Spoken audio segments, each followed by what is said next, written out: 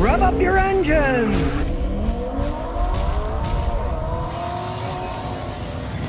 Toyota Tacoma that moved from California to Nashville. The man is in the music business, so he left California, a wise move, and moved to Nashville, and he's happy. For all these electrification people, this isn't electric, it's not even hybrid, but they were getting brownouts. They couldn't run all the air conditioners.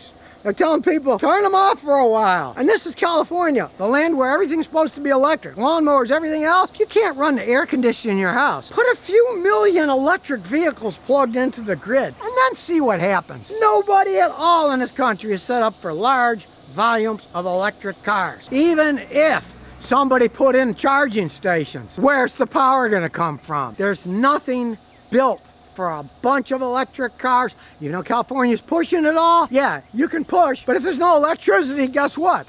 The lights are gonna go out and the cars will be undrivable. Maybe the people in California will revolt like they did in the past with their tax proposition to freeze tax on houses like they did ages ago. Of course, it didn't work out too well. They kept raising all the taxes anyways. That's the problem with government gone wild. It's got a life of its own and it'll just keep going and going. Well, this guy was smart. He left California and went to Nashville where he doesn't have to deal with all that crap. Doesn't have to worry about that California inspection. Now, this vehicle was brought to me by his father who's visiting Nashville. They still live in California. He's got an old Honda Accord with 150,000 miles, and he's going to try to make it last forever. He hasn't fallen into this electric car. They get brownouts for electricity all the time. How can you add millions of cars to that grid? Basically, you can't. Now, this is a Toyota Tacoma, so of course it's not going to really have any problems for quite some time. It's only got like 15,000 miles on it. It's a four-cylinder one.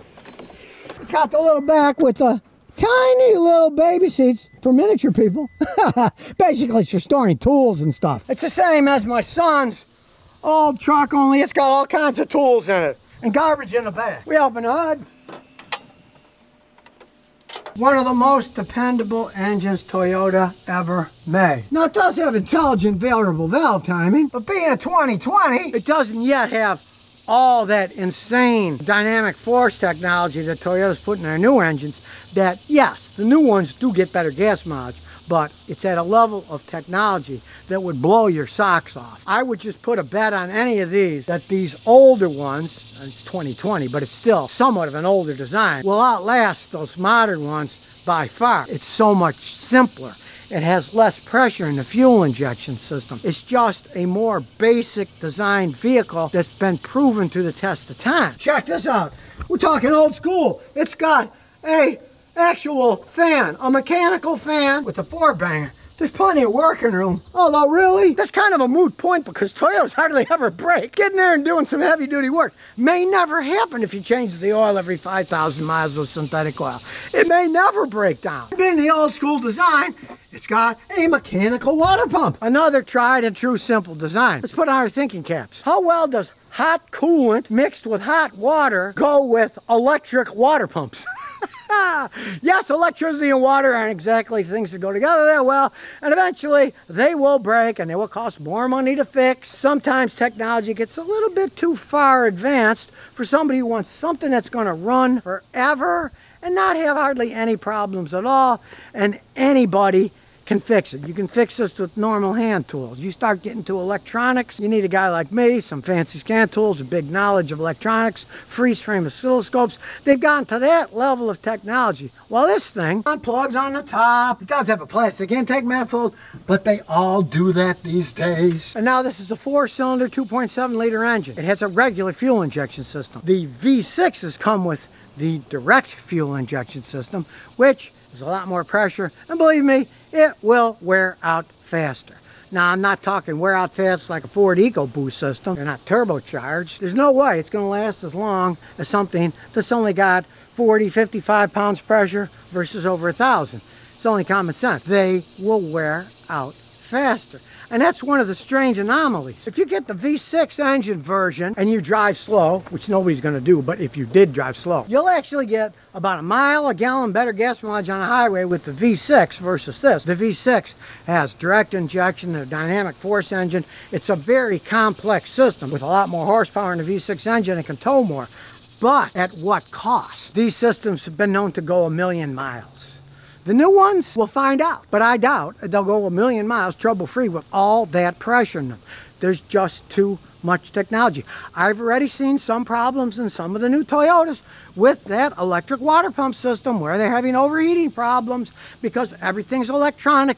And if you know anything about electronics, if it can break, it will. And since it's all software, sometimes it's software problems, sometimes it's hardware problems, but it's a lot simpler to have a pump that runs off a belt that goes hundreds of thousands of miles than one that's controlled by a computer that has an electric pump soaked in hot coolant in an engine all the time. It's only logical. And yeah, you go inside, they're relatively Spartan. It's a little pickup truck. It's a Toyota, so you know it's gonna start right up. And it has a six-speed automatic, which you can either let shift itself, or if you want, you can shift up and down using the lever itself. And of course, they all have their backup cameras on it. It's a pretty basic one, but you see what you're getting. It's not a fancy one that'll show you all the different angles, but it works perfectly fine. And it has cloth seats. Looks like they have a dog. I see dog hair. cloth seats will last forever if you take care of them. It's also a pickup truck, so no sunroof on this thing.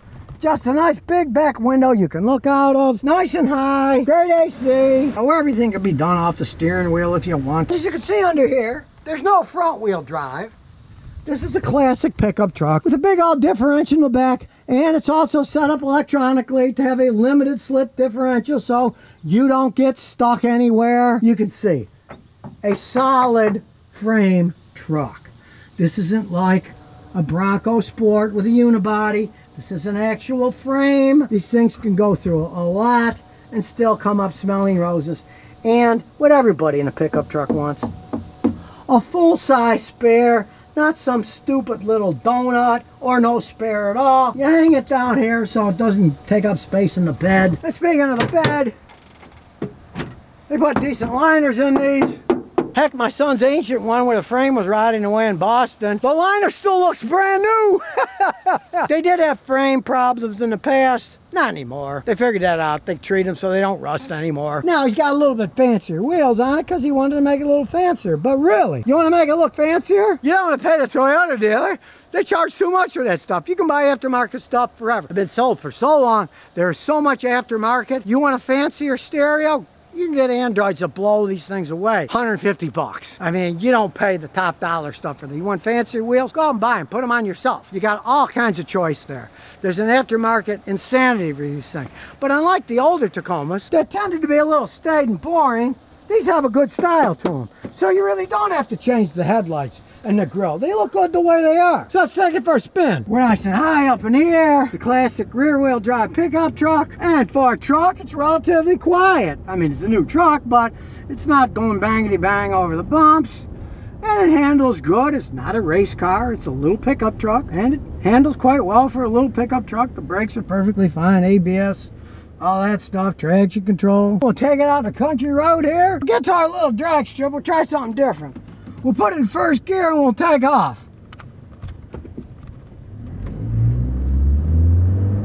We'll shift it manually.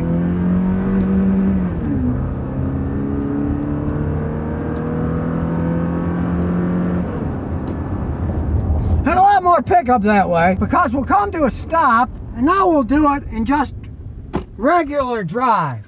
You'll see the difference. Here's regular drive. You notice it has a lot less acceleration. It shifts perfectly fine, but if you really want to get up and go, you can use the manual mode. It's not a race truck, but when you shift it yourself, you can have a little more fun. You can put it in second gear takeoff instead of first if it's slipping too much in first. Gives you a little more option. Heck, the main reason people buy these things is because they can last forever. They can haul all their crap and they know it's going to start. They know the engine and transmission are going to last, and it's high enough up in the air that they can do some water waiting if they have to. And I'm sure this truck feels a lot more at home in Nashville than it ever did in California. Little four-cylinder engine, but no shake at idle, nice and smooth. And sure, if you compare it to other trucks, other trucks can ride a lot smoother, have a lot more power, but really, there's nothing out there that's gonna last as long as this thing will probably last. It's responsive enough for a little pickup truck. It's not clunky, you know, it's not a race car. you don't go taking corners at 90 miles an hour. Now, if you're a long haul person like me and you want something that's gonna last forever, take it wherever you want to go. Mainly, you're driving on a road, you can't beat a four-cylinder Toyota. Now, on the other hand, if you're thinking about pulling boats, you're worried about getting stuck, you might want four-wheel drive, the V6 engine, the higher level of technology that probably won't last quite as long. Mind you, it's still a Toyota. But if you're a long-haul person, you really can't beat a four-cylinder Toyota pickup. It's a classic small pickup. It'll do what you want. And then again, small is a relative term. This is a heck of a lot bigger than the old one that my son had. That was like a 99.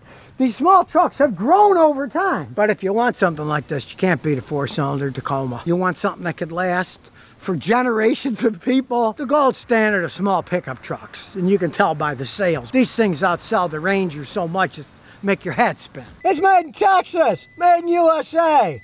It's not a Mexican one. I would always prefer the Texas Tacomas over the Mexican ones. That's just me. Has a little bit to do with quality and what workers are paid, but that's another story. So if you never want to miss another one of my new car repair videos, remember to ring that bell.